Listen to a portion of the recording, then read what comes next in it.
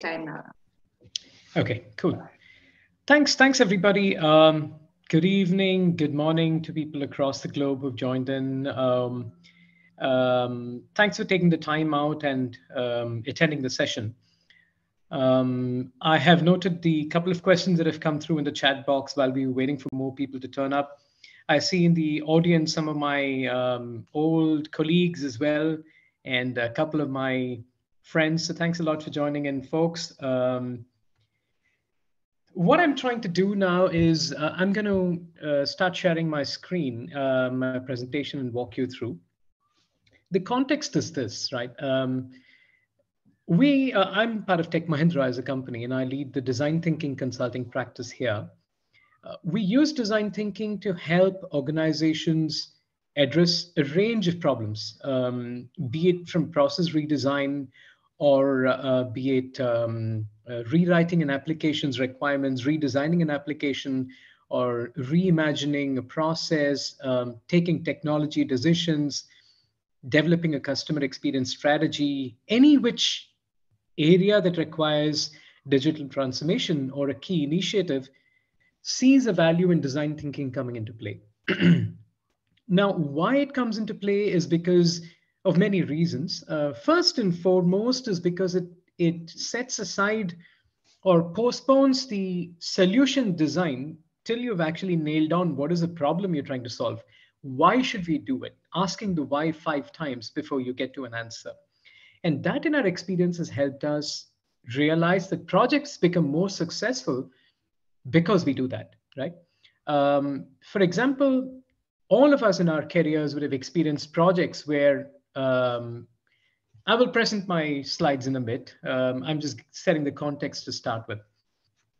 We, we've come across situations where projects either don't go successful after meeting all the testing requirements. Um, all the requirements written by in the business requirement phase have been met. Um, use cases have been passed yet people don't adopt it. Yet you have change requests coming in for plugging in gaps. These are classical problems where the return on investment in your project is questionable because you thought you've done it to the dot, but then it's not been successful. Those are examples or symptoms of a problem which is deeper, and that's why design thinking helps you. Um, having said that, let me quickly go around to sharing my screen um, and walk you through the presentation. Yeah. So um, can you see my presentation on screen now? Yes, we can see yes. now. Okay, great. Thanks. So um, this is on uh, a, briefly a design thinking workshop focused on how do you identify the right problem and then build the right solution for the problem. That's what we're trying to do. Okay. Um, in the next hour, I'll try to quickly run you through the key parts of empathy, definition of the problem and ideation, and uh, walk you through some tips and tricks and some examples and wrap it up with a case study as well as a couple of diverse scenarios in which design thinking can be used. And then we take your questions uh, in the last 15 minutes, but you can keep sending the questions in through chat, but I'll be looking at it once we get towards the end of it. So uh, we will focus on why uh, design thinking is useful and how do we transition from theory of what design thinking is to the reality of implementing it in, in a real world. Um, some of the expectations people had from this I saw in the chat was how is it different from agility? How can it help a soft skills facilitator? Um, and updated guidelines. I didn't get the last part on updated guidelines, but then I would try to share with you what's the what is design thinking all about, and therefore it'll explain to you it's not just about agility, but it's about accuracy as well. And um, uh, in terms of how can it help soft skills facilitators, you'll find the answer as we go through for sure. And in terms of updated guidelines, I could probably talk to you about updated practices that we follow, having done design thinking over the months and years. So over multiple uh, tens and twenties of projects that you could probably get some of those tips and tricks that you can implement. Now, I'd like to ask uh, people to look at this slide and uh, drop your messages in chat. My question to you is this. Um, which of the birds in this picture, in this slide that you see, are digitally touched up and uh, artificial? That's my question to you. you see an image, um, a collection of images here, which are nine in number. Um, which of these do you believe are natural and which of them are, or at least give me a count of how many of these do you believe are artificially modified? Right? I'll give you a minute. And please uh, send in your responses on chat.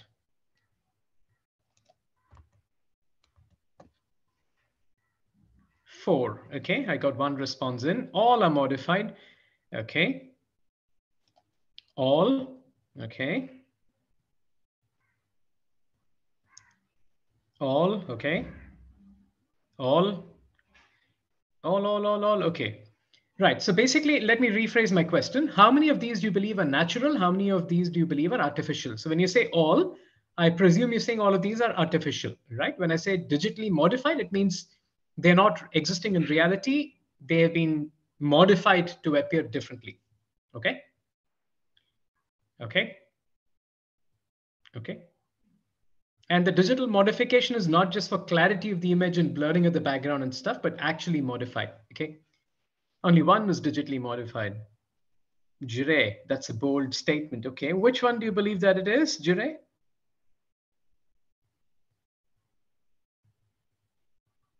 One last, but one is modified. Okay, cool. Now let me let me bust the myth and let me disappoint you all. None of these are digitally modified. All of them are natural birds that exist in reality. And you'd realize by now that I'm I'm a fan of wildlife, and that's the reason I picked this up. As I struggled to communicate the message of design thinking to my clients, I came upon this approach and I put the slide together. These are examples of birds with some of the most weird and unseemly beaks in the world.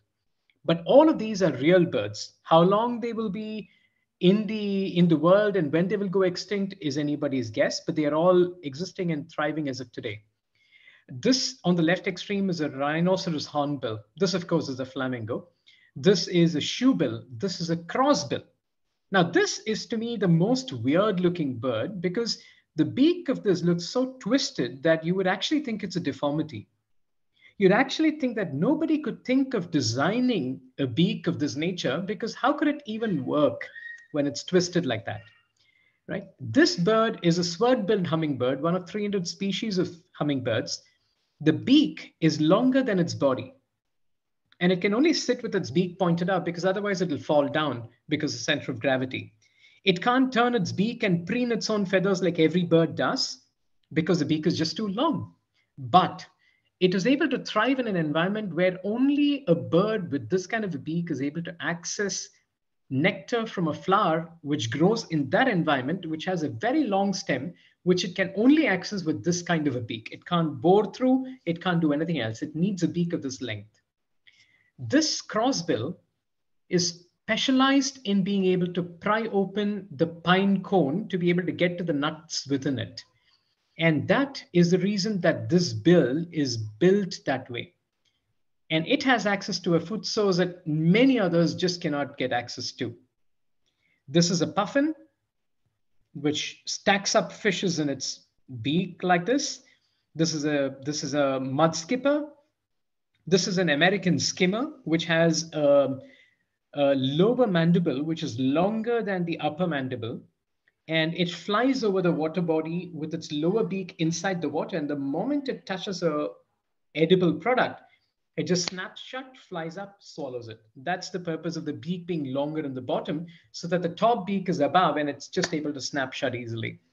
And this is, of course, a, um, a spoonbill, uh, which is able to tap tap into the food that way. So the message I'm trying to convey through this is if you were given a task of designing a beak, none of us would have thought of coming up with a beak of any of these shapes because to us, this would have just looked absurd, impossible, wrong, um, uh, unacceptable. But this is exactly the kind of beak that this bird requires for the environment that it lives in to compete with the people that it has to compete with and to leverage the resources that it has access to. Similarly, each of the birds here. So the message in the slide is unless you pause to understand who is your user, what are the problems they are faced with, what are the available resources that they have to work with, what are the environment that they have to exist in and thrive in, what is the competition that they have, who are the other stakeholders involved, what kind of constraints are imposed only when you do all of that and identify the real problem will you then come up with a solution that satisfies the problem and benefits the user. So this is an example from nature of the essence of design thinking that you pause to de you design a solution only after you've empathized enough with the context of what you're trying to solve. Then you will identify the right problem and then you'll identify the solution.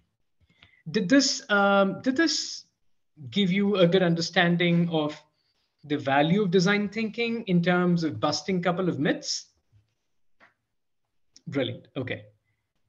Thank you.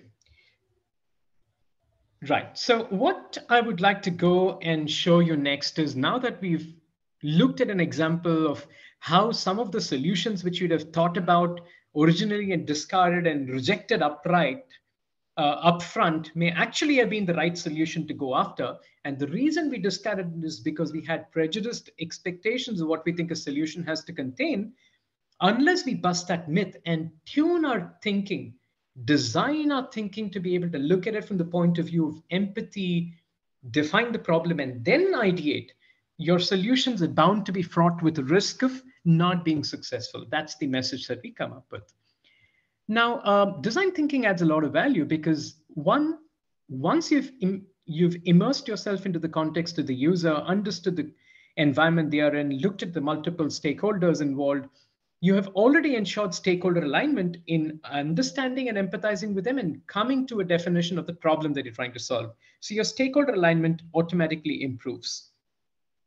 Because you've spent the time aligning the stakeholders getting them to a common vision, getting them to a common purpose, understanding the pains which are the primary pains across the group to address, the ROI of any such investment behind projects become much better than otherwise. And because you're looking at it from an overall stakeholder point of view, the experience of every customer, be it internal or external, gets enhanced because rather than doing a pointed laser surgery, you're doing a master health checkup and then a gamut of activities to improve the overall stakeholders' expectations. And therefore, customer experience improves. Change management is easier because you've already done stakeholder alignment. What more do you want? Change management becomes that much more easier because everybody sees their problem and sees the solution in what you're building. And therefore, the risk is minimized and efficiency improves. This is the value of doing design thinking. Uh, now, this is a slide that I picked up because this, um, the, the IDEO group is perhaps the best representative of design thinking, and they are the ones who are the gurus of design thinking. And this is the CEO, Tim Brown, who said design thinking is a human centered approach to innovation that draws from not just the designer's toolkit to integrate the needs of people, but it also looks at the possibilities of technology and the requirements of business success in very simple terms, what he says is desirability, viability, and feasibility. If you look at it, three intersecting circles, that's what this does. Design thinking ensures that the intersection of those three are effectively managed. And therefore, the projects or the ideas that fall in that intersecting space between the three circles become the ones that are built further upon and therefore successful. The focus of design thinking is predominantly to start with the desirability element, the technical feasibility and the viability come in afterwards because once you've defined the problem, desirability addressed, ideas are out on table, then you prototype them and the feasibility and everything else comes into play. Uh, Ramakrishnan, if you don't mind, can you share the yeah. screen? I don't think you're sharing the screen now. Oh, Thank oh, really? You. Sorry. Apologies, that went away. Is it visible now? Um, you are seeing the PowerPoint, not the PowerPoint uh, slideshow. Okay.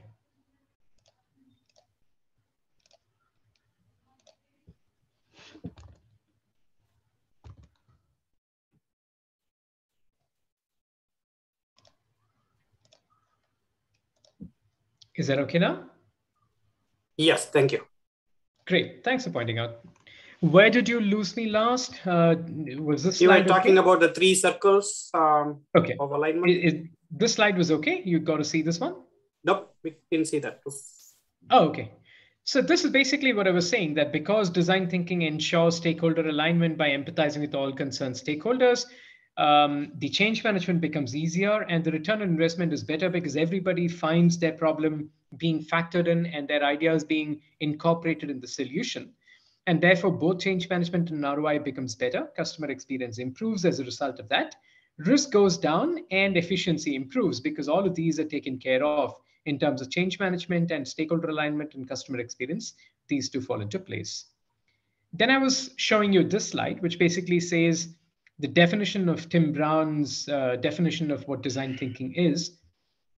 And I said you could visualize this in terms of an intersection of three circles um, three sets, which is desirability, viability, and feasibility. The intersection of the three of them becomes the most viable project that gets picked up picked upon. And um, design thinking focuses more on desirability to start with because that's where the, the, the seed of the idea forms. And those desirable items are what then get evaluated for viability and feasibility. And then those that fall into that intersection gets built into successful projects. Now, um, this is another, um, this is, all of you would have seen this, the classical five steps of design thinking, which is empathize, define, ideate, prototype, and test. Now, the image on the left is another um, um, example from nature. This is uh, perhaps the only creature in the world which has a transparent head.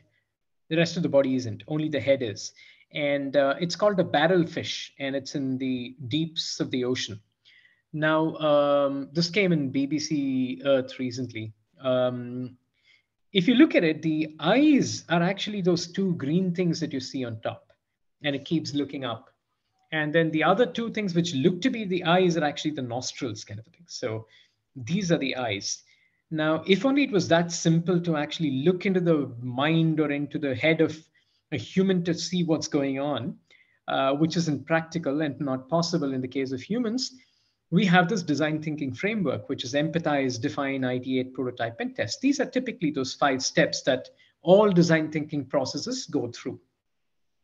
The important thing, uh, in case you're not familiar with this, is that um, while these are necessarily the flow that needs to go through, you often go back to validating your empathy each time you cross this process. So it's not like you finish this and gone to the next and you never go back to this. It's kind of iterative. So as you define the problem, you start, um, you know, you, you improve upon the empathy that you've already got.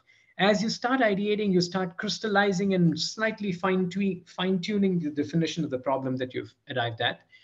Uh, and then the prototype and test happens. So unless you spend enough time and empathize, um, and define and ideate, uh, the prototype and test doesn't really help because um, you've probably missed the bus already here. So question to all of you, if you were to choose between these five, while all of them look of similar size, which do you think is the most important in terms of you better get it right at this stage? What might be that one, one of these five, which you think is the most important to get right?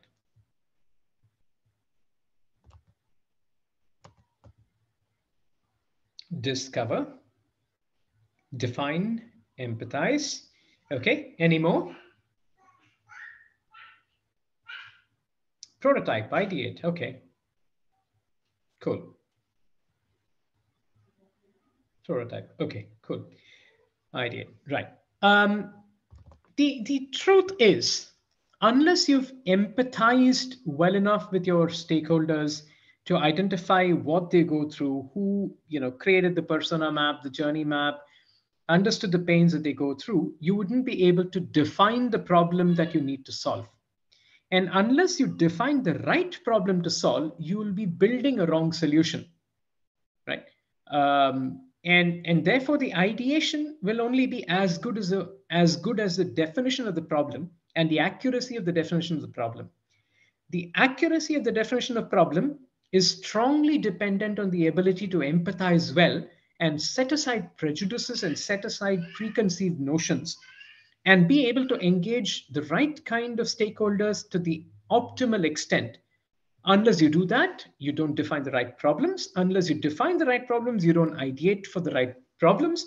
And therefore, your prototype and test may not be, even if you do a fundamentally brilliant prototype and test it very well, you might still come up with a project at the end of the test, which a product at the end of the test, which wouldn't be really solving your core user issue because you failed at the empathize phase. So um, if you were to ask me in terms of if you had to make a choice, then I would say empathize is the area where you have to spend the most diligent focus because unless you empathize well enough, down the line, you're in building risk into the project as you go down the phases. And the cost of quality or cost of correction becomes very high. And um, of course, it doesn't help if you just empathize well and define well, but you don't come up with good ideas, right? So you can always argue saying that even if you do good empathize and define, unless you ideate, the desirability doesn't get addressed, and therefore the viability and feasibility go go for a toss. I agree, but then um, all of it starts with empathy, and unless you empathize well enough, assuming you do a good job of everything, unless you focus maximum efforts and empathize, you're setting the entire project up for failure. So I would place my bets if I was a poker player on empathize. Now, um, how are we doing on time? We are half an hour through the session. Okay. So um, what I'd show in the next few slides is basically what are the key steps in design thinking. I'll focus mainly on only the empathize, define, and ideate because this topic was on how do you build the right solutions for the right problem, right? So therefore, we need to identify how to define the right problem and then how to come up with the right solutions for the problem. And therefore, I'm going to focus more on empathize, define, and ideate in this webinar. And um, for, in the interest of time, leave the prototype and test out because these are the core things as per the agenda that I'd uh, set up in the video. So now let me talk to you about empathize, right? Um, of course, there's a difference between empathy and sympathy. Everybody would know that.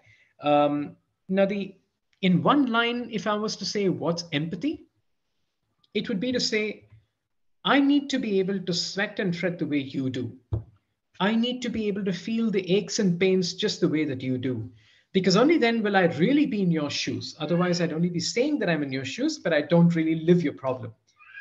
But the catch here is if I live too much in your problem and I get too close to your way of thinking, then it becomes like the Stockholm syndrome, right? Where I, I start loving my captors so much that I don't want to get rescued. So I start loving to be in the same scenario rather than look for change. So it's important to feel your aches and pains, sweat and fret the way you do. Only then do I really understand where you're coming from. And unless I understand where you're coming from, I can't say that I've started even empathizing with you. There are various things you can do to do the empathy well. Um, we do something called imprinting, where we go on the ground, we meet people, we observe things, we are on the floor, if it's an IT context or a shop floor context, um, or we go into the retail outlet and sit with people and observe the interaction. So those kind of things become some of the elements of empathy, but that's not all of it. It's not just being there and looking at things. It's also asking the right questions, doing some scientific approaches to how you build the empathy. So here are a couple of, uh, it's a highly condensed uh, presentation, just to give you an idea of what it what goes into this. So some of the steps in design thinking are the idea is to be able to see it as your stakeholders do. Only then can you say that you've empathized. That's the point, right?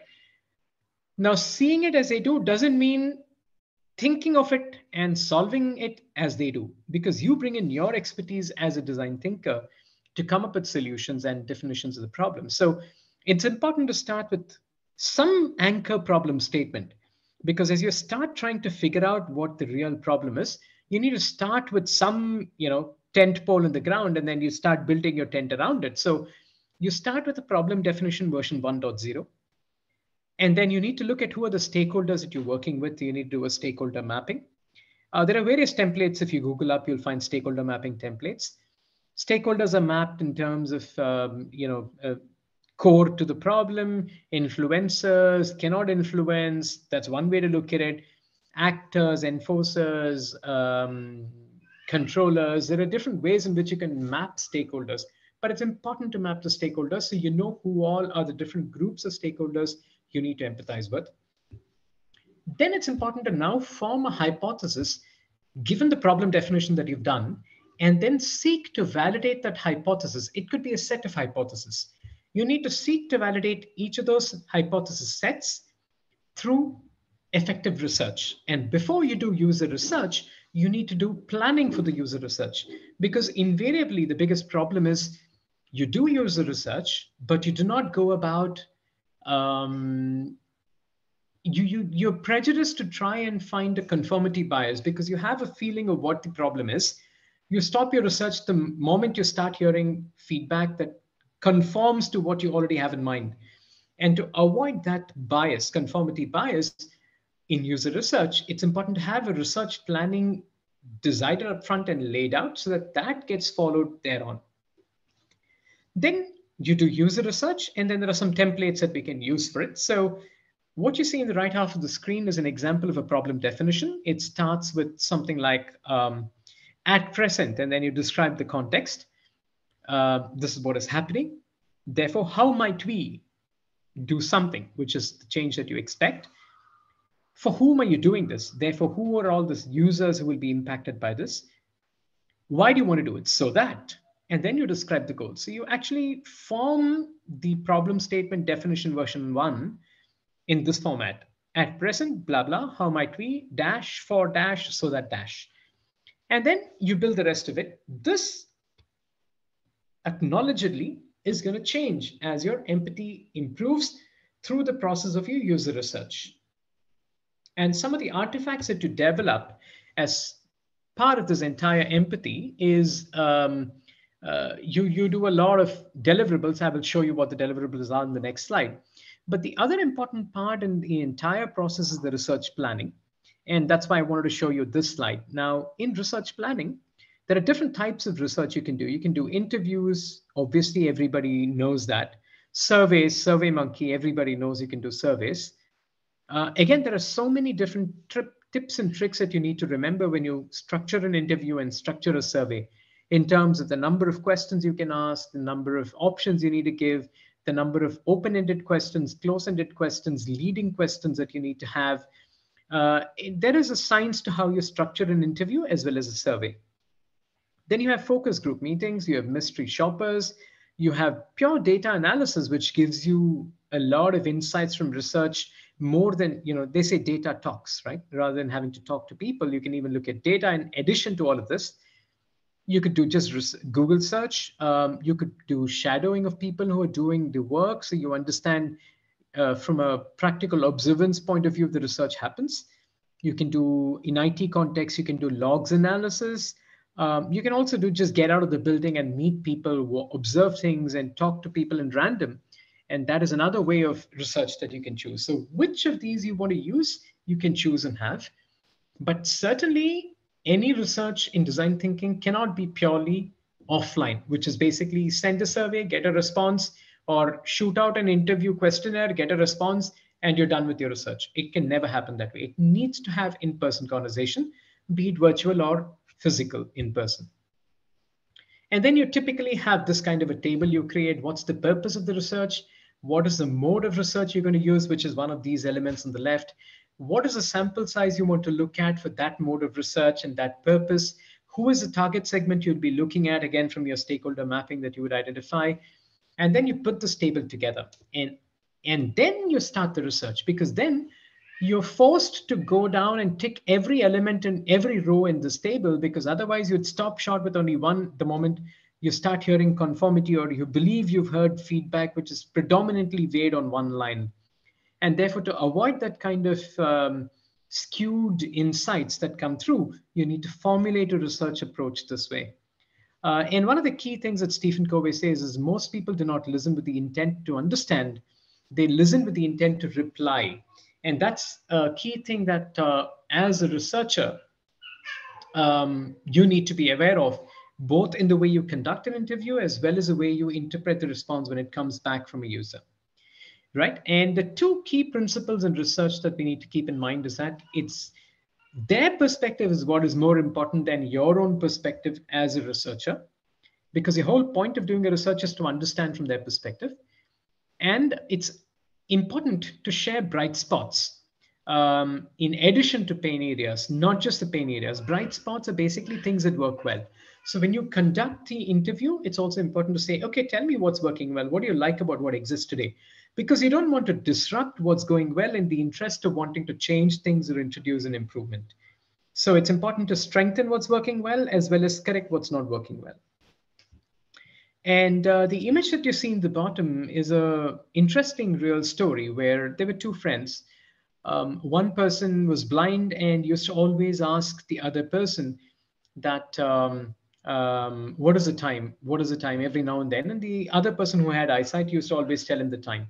So one day he decided to make life easier for his friend and he designed a watch using Lego which had um, enough kind of um, ability that the blind person could feel and figure out the time on his own.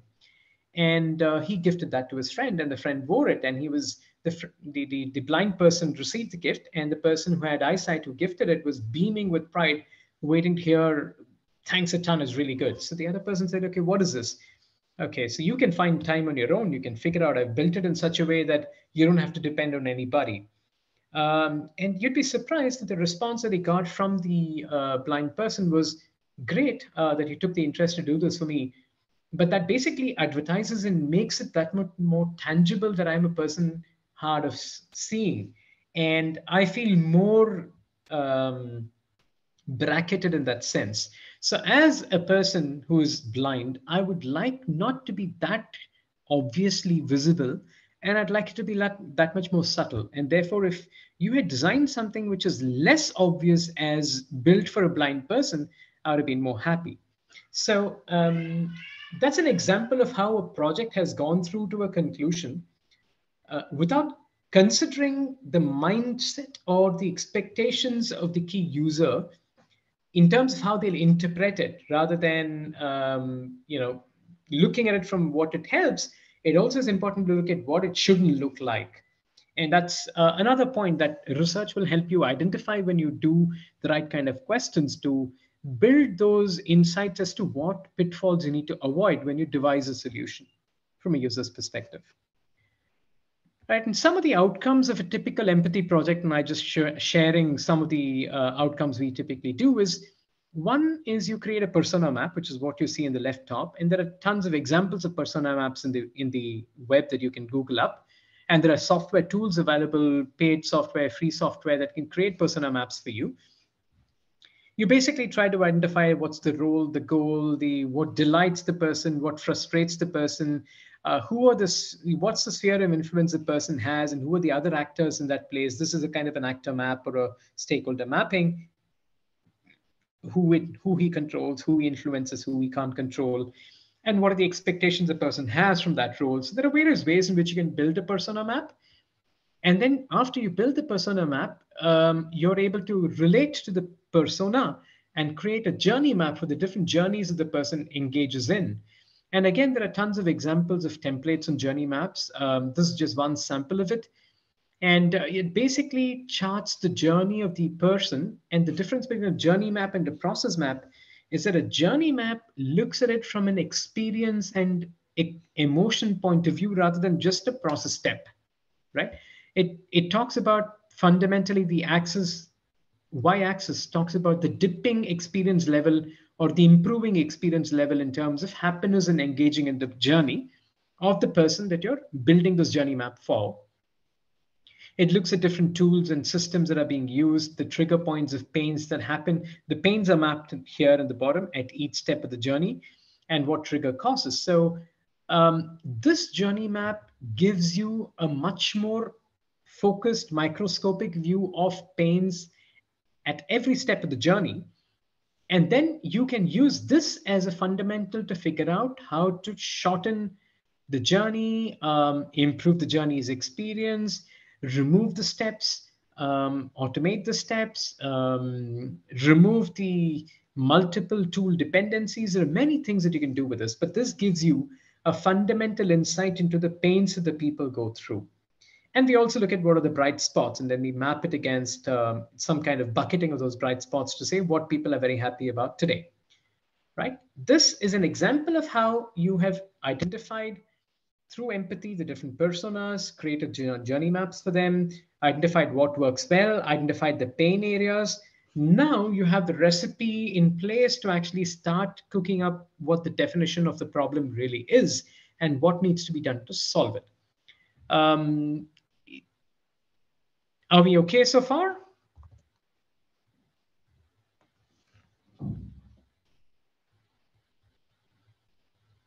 Okay.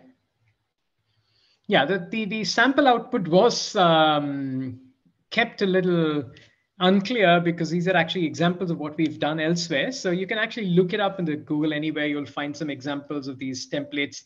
Just look for persona maps and journey maps. You'll find tons of tons of examples. Um, yep, stakeholder mapping. Yes, it's one of the first things that we engage in. However, um, the, the, pur the purpose you do stakeholder mapping while engaging a new client and the purpose you do stakeholder mapping when you're commencing a new project will be slightly different because sometimes when you engage with in a project, you might the project sponsor might not even consider some of the stakeholders internally as people you need to empathize with. And unless you empathize with them, your project is not going to be successful because those groups will not em em employ your project at the end of it and therefore the, the way you might do the identification might be slightly different. So in any project, you say, the project manager might say, okay, you need to talk to A, B, C, D, E. Only when you've commenced the project initial stages, you'll realize there's an F and G and H as well. And then you add on to the list, and it's important to do it uh, that sense.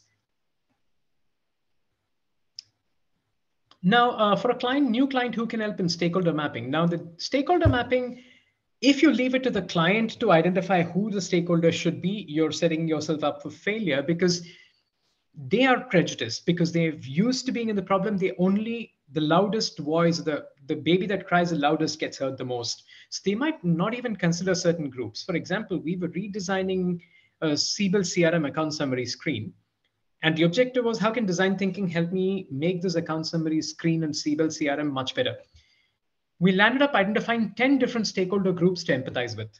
And that happened because a customer identified six initially.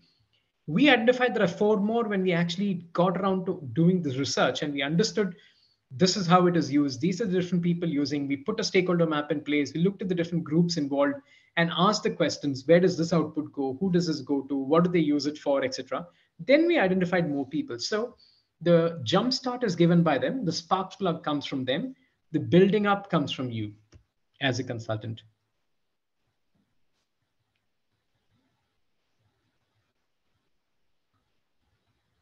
Yep, okay. So I think we've looked at the questions that have come in. Right. Now I'll go back to my presentation. Yeah. Now we look at uh, defining the problem, which is the second of the three pieces that I wanted to focus on. Um, now, um, in defining the problem, um, the key three parts to the defining of the problem is you need to have a vision statement that's very clear. Um, and that vision statement has to be bought into by all the stakeholders concerned that you've already mapped in the empathy phase. And everybody that you've engaged with in the empathy should be through with you till the testing phase. You can't engage with a group for empathy, a separate group for definition, separate for ideation, or say, okay, now that I've empathized with you, I will come back and tell you what your problem is and what the ideas are. It doesn't work that way. It has to be connected. So uh, you need to have the vision statement uh, done from everybody. And you need to get people moving from thinking of what's my pain to what is our collective pain.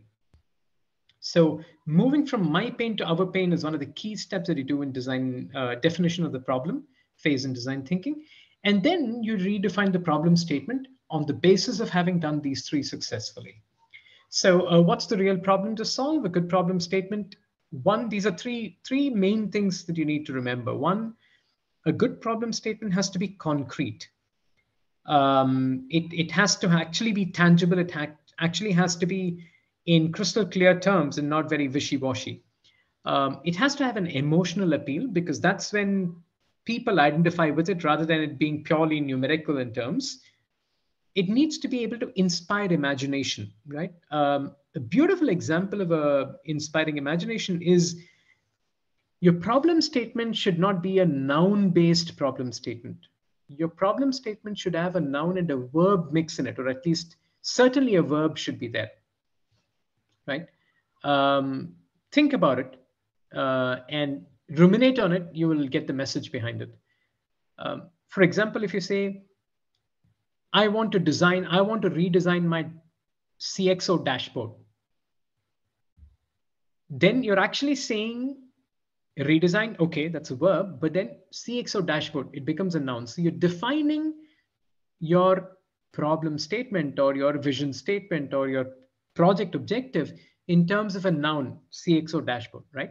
Suppose you make it a different way. I want to enable quicker decision making by redesigning my CXO dashboard. Then your focus of this problem definition flips to quicker decision making rather than CXO dashboard. CXO dashboard becomes a vehicle through which the objective of quicker decision making is achieved.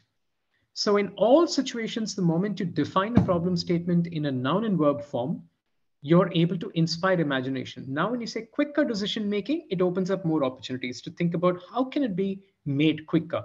How can you enable decision making? You might think of new elements that are missing in the dashboard that needs to come in. You might think of um, reprioritizing the way an in input is projected in the dashboard. There are many things that might come into mind. But if it's purely just redesign the dashboard, then you're limiting yourself to playing around with imagination to what you can do. There are three ways to define a problem statement. It could be a min-max. How do I minimize this or how do I maximize that? Um, it could be a metaphor. So you can say, I'd like to be the Uber of, um, of um, IT support. Um, or it could be an emotional experience. How do I be the go-to person um, that makes somebody feel at, at home uh, when they check into my hotel, something like that. So the emotional experience could be one way of framing using a metaphor approach or a min-max approach could be the other way of framing a problem statement. Um, and um, one of the ways to revisit the problem definition that you've done upfront is, once you've done the empathy phase is to do the dotting exercise, which is basically where you choose what kind of problem, you know, ask people to put dots or vote on different problem statements that you've come up with so that you have a collective representation of which ones become more important to address in the eyes of the stakeholders whom you've engaged. And it's important to realize, remember that you don't need to solve all problems. If you solve 80%, if you solve 20% of the problems that cause 80% of the pain, then you've done it.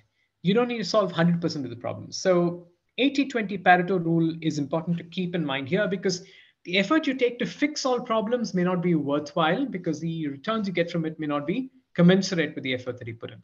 So these are the three dictums. How do you word the problem statement, the three ways in which you frame it, and then the um, fact that you have to not solve all problems and engage everybody when you define the problem and redefine the problem. So then you condense it finally to say, how might we do this for this group so that this outcome is achieved? And this then becomes your problem definition that you go with. And this already imbibes the vision in it because the vision is coming through in the so that bit, right?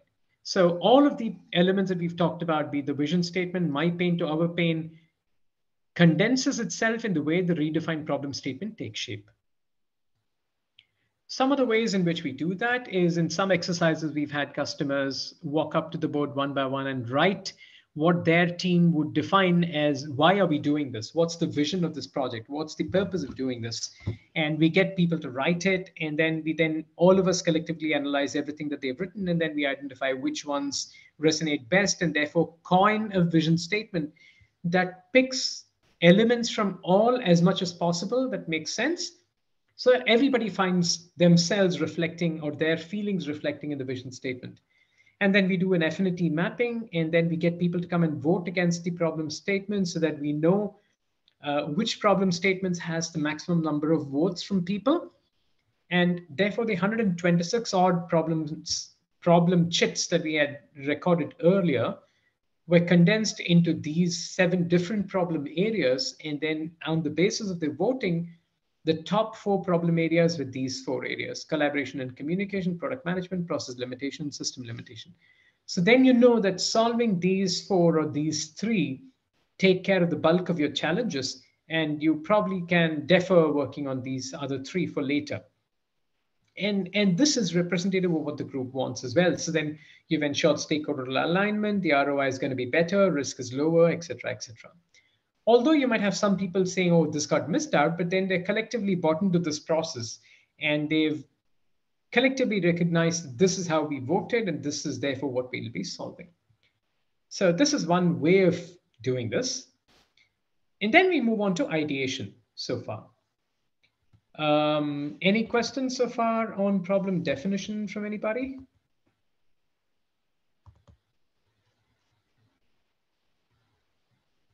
Nope.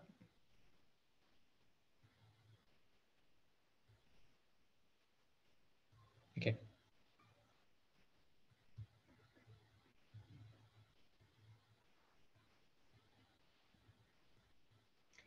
I want to take quicker decisions. I want to be able to make quicker decisions is a wish list. Uh, it is uh, the problem is I'm not able to make decisions quickly, right? Um, and therefore solving it is the solution where you're enabling the people to be able to come up with uh, tools or mechanisms that will help them um, enable the quicker decision making becomes a solution so yeah so it's different from from actually the problem statement now here is an example of uh, ideation or, or the couple of slides on ideation so this is perhaps the only double Nobel Prize winner. His name is Linus Pauling. And he says the best way to get a good idea is to have a lot of ideas. So um, you'd be surprised, but basically what he's saying is the quantity of ideas helps you ensure the quality of the idea that comes out. So a bias towards quantum is what um, is coming through in this. And the objective of the ideation here is that it should be a collective ideation so that uh, parts of ideas that come from different people pooled together gives you collective ownership. And therefore, collective ideation helps in collective ownership. Um, the important formula here is one plus one can equal three because you're actually mixing ideas to come up with something much, much better than each of them individually. Um, it's important to remember to flare and not just focus on one particular area. So therefore, when it comes to ideation, it's important to flare here. So as when in, in empathy, you flare, and then in definition, definition, you again focus and come down and you narrow down to a single definition. And then you flare up again when you get down to ideation and prototyping. And then you narrow it down again, focus down again when you're going down to testing. So that's the typical cyclical approach that happens. Uh, it's important to defer the judgment on an idea and not reject an idea upfront. And therefore, to not reject an idea upfront, we typically do not ask people to voice their ideas, but instead post their ideas so that people don't have the hesitancy that somebody might shoot it down. It's important to have a time bound exercise that ensures you're able to get the ideas that you need on time. It needs to have a number goal saying, okay, I need 1,000 ideas to come out of this half an hour session. Right. So you, you park a number and have a goal and challenge people to come up with ideas for the heck of it just to meet that goal as well. Uh, and then you need to have a bias for quantity and then the quality will come up on its own. And you need to design for the extreme scenarios rather than just for the commonplace scenarios. That's when you're, um, when you think of ideation, you come up with some wacko ideas. Um, and, and the fundamental belief is you really don't need a bathtub to have a eureka moment. You can actually engineer a eureka moment. And um, um, there are various ways in which you do ideation. Of course, individual brainstorming is something everybody does. You could do three minute ideations and you could do a two minute restart at the end of it. Then you do some sketching based ideation without words. Then you do a process, people, product based ideation, technology based ideation, or how do you use information based levers for ideation and come up with uh, rounds of ideation focused only on these you could look at value chain based ideation, saying how can you now look at this element of the value chain and come up with ideas for this, given the problem statement that we're trying to solve. Look at maximum. How can you look at maximizing something or minimizing something as a fulcrum on which you're coming up with ideas? How can you eliminate, combine, divide, or automate uh, things and then come up with ideas specifically on all of those?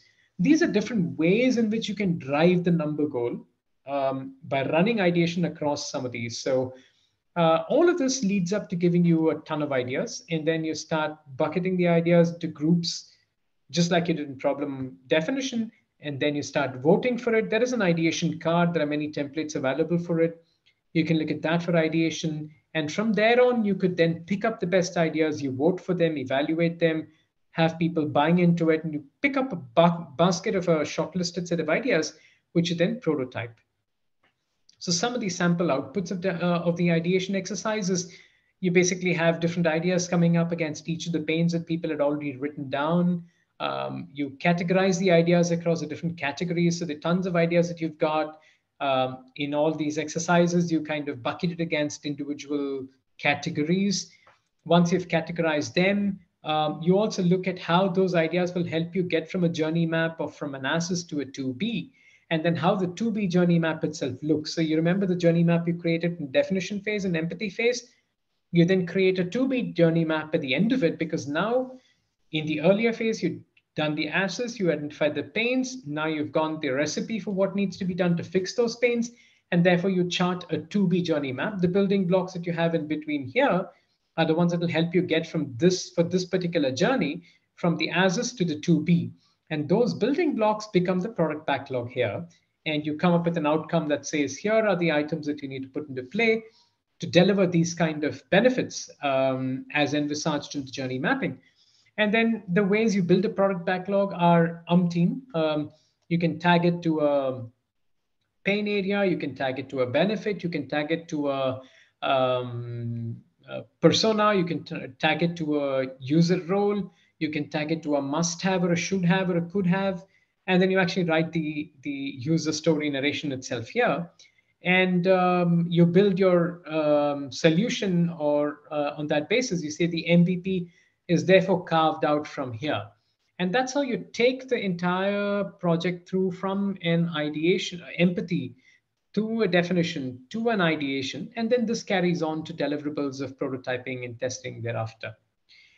Now, in Tech Mahindra, we've used design thinking in many different areas across digital strategy, digital customer operations, or future enterprise.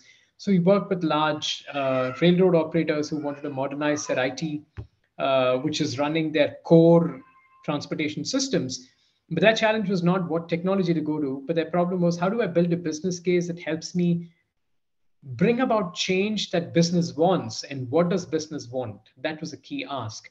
And therefore, I built my business case around enabling that change of business expectations. And then the technology that supports it falls into place. We worked with a large IT services provider which wanted to implement SAP S4HANA, but then not just implement HANA, but use that as an opportunity while you're changing platform from Oracle to SAP to also look at what process changes need to be coming in so that the entire experience for the users as well as the people in the finance team becomes better and use that process of what S4HANA can do plus the delta so that collectively the end outcome is satisfactory to everybody concerned. We worked with a large uh, pharma major to help them improve their breast cancer support program in India, where um, uh, they have a patient support program for breast cancer patients and for a lot of um, critical illness patients. And breast cancer was one pilot project where we said, uh, let's look at what we need to do to be more patient centric. And then came up with a lot of insights that helped them redesign how the patient support program itself works across digital enablement to logistics to alerts to patient engagement to ecosystem collaboration, all of it. Uh, we worked with um, a large healthcare analytics firm over multiple projects from redefining their digital strategy to their process redesign um, to uh, being able to create um, better uh, de-risking methodologies for their um, person-dependent processes. Uh, we worked with the logistics major in USA to help them build a business platform to enable 4x growth for their brokerage business.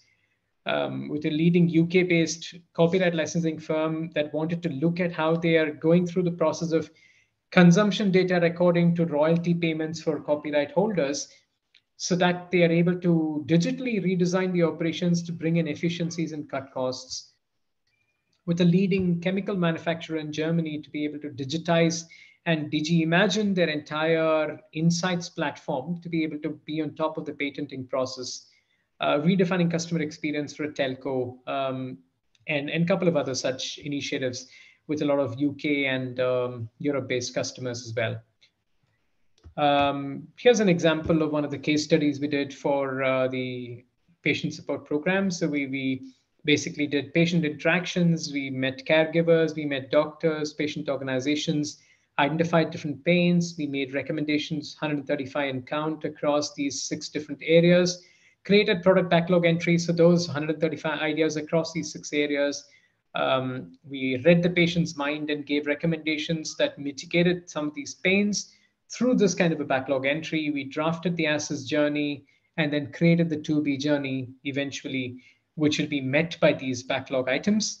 And um, it was a pretty collaborative process. So these are some of the examples of what we've done. Um, and in summary, I think what, what we believe is a critical success factor for any design thinking engagement to be successful is that it needs to be something that makes it fun for, for people involved. Um, it, it, it can get very strenuous when you're talking about talk to me about your day in the life talk to me about your journey what pains do you encounter what do you do when do you do why do you do who do you do with etc etc so it's important to make it fun and it's important to prototype and experiment because once you get some of these ideas you need to you know quickly mesh up things and look at what it comes up to be.